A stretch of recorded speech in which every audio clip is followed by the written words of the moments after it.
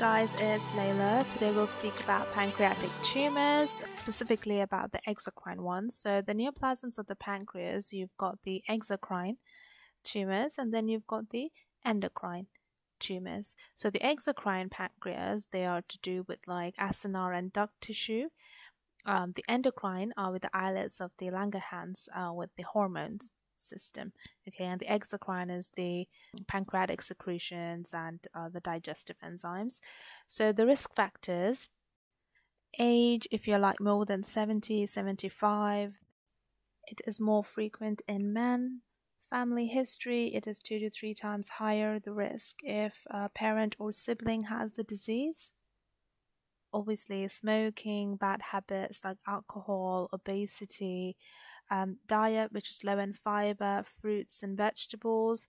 Uh, you have some uh, oncogenes like KRAS, which is the most common one. You've got mutations in tumor suppressor genes like P53, P16, BRCA2. Okay, specifically about exocrine. So, uh, by who you have the classification of the primary tumors. So, benign, you have serous cyst adenoma and mucinous cyst adenoma then you can have intraductal papillary mucinous adenoma. So the most common one is mucinous adenoma, and these are benign. You go to borderline with um, intraductal papillary mucinous tumor with moderate dysplasia, or solid pseudopapillary tumor.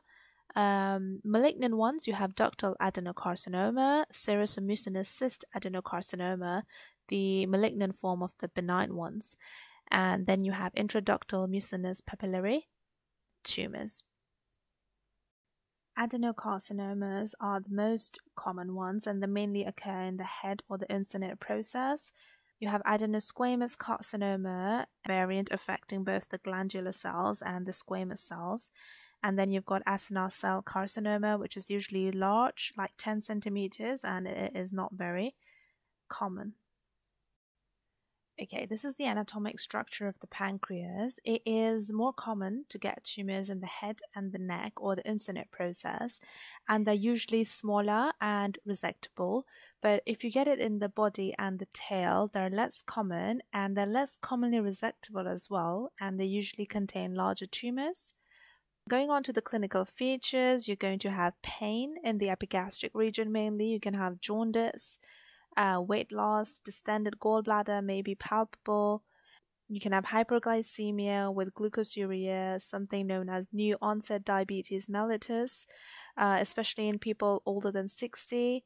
Um, you can have unexplained fever, nausea and vomiting, and acholia, which is known as lack or absence of bile secretion.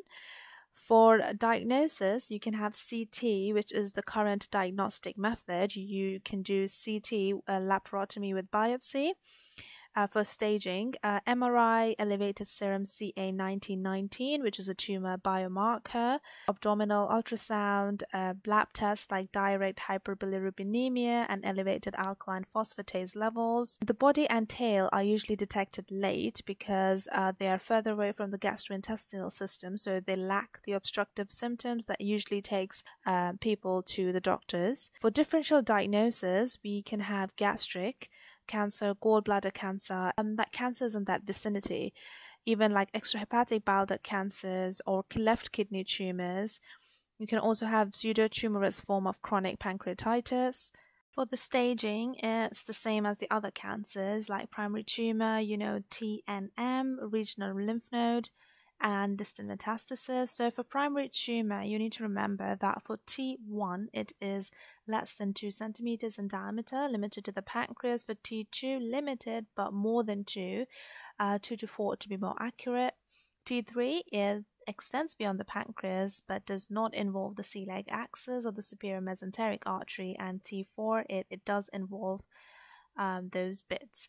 The regional lymph node is the same, so N0 would be no lymph node involvement and N1 would be an involvement.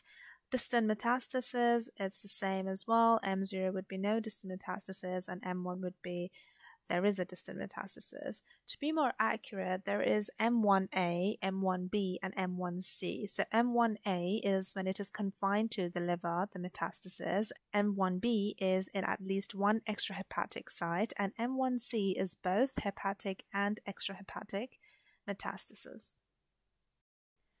Okay, for treatment with curative intent, you can do surgical resection. There are different types. You can do pancreatic duodenectomy or Whipple's operation, which is pancreatic duodenostomy, and pancreatectomy, which can be either subtotal or total. You usually adopt this pancreatectomy for resection of the body and the tail. For head, you can do the A and B. Chemotherapy and radiation is also helpful. You can also do ablation um, for locally advanced unresectable disease. Treatment with palliative intent is when there's no cure, so you try to deal with the symptoms. So, pain, you'll take oral narcotics. For jaundice, you can do an endoscopic biliary stent. For duodenal obstruction, you will do an endoscopic metallic duodenal stent, or you can even do surgical bypass. Complications of cancer is usually sepsis and hemorrhage or cardiovascular diseases as well. Post-operative, you can have delayed gastric emptying, uh, pancreatic fistula, and hemorrhage secondary to gastric involvement and portal hypertension. Okay, that's it for this video, guys. Take care. Bye.